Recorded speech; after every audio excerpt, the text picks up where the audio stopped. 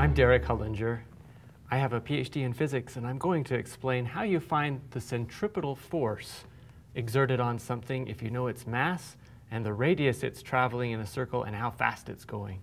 So whenever you have something going in a circle, say like this ball, I'm going to swing it around on a string, this string is pulling on this circle, uh, pulling on this ball, making it go in a circle. Otherwise, the ball would just fly off in a straight line. So if we draw this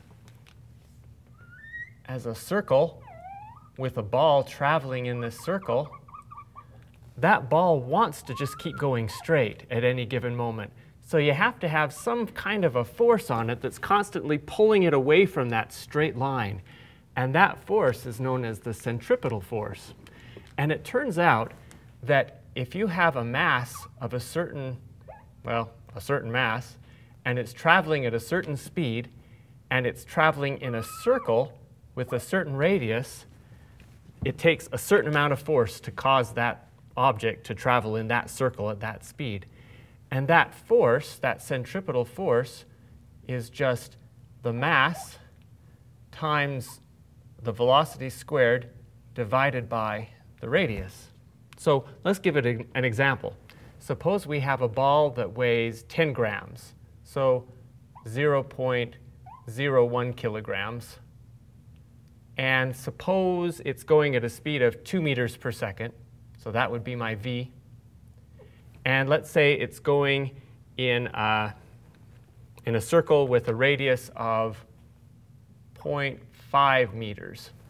So if we multiply all that together, we get 0.08. And with this in kilograms, meters per second, and meters, the units of this would be newtons. So there's the centripetal force required to make this object go in this particular circle. One thing that you might notice from this equation is if you make it spin faster, it takes more of a force to keep it in that circle because it wants even more to go in a straight line. You can think of it like that. On the other hand, in order to make it go in a tighter circle with a smaller radius, it also takes more force. Also, suppose instead of a, a, little ball on this string that I swung around, suppose I had a bowling ball that I was trying to swing around. It would take a lot more force to make that bowling ball go in that same circle at that same speed than it took to make that little tiny ball go in that circle. So this equation predicts all of those relationships.